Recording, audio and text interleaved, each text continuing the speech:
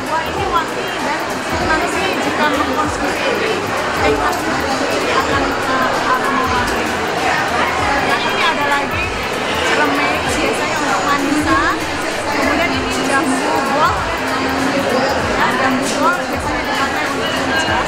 Kemudian ini ada sawo apel. Karena bentuknya bulat-bulat seperti apel, rasanya manis. Seperti sawo pada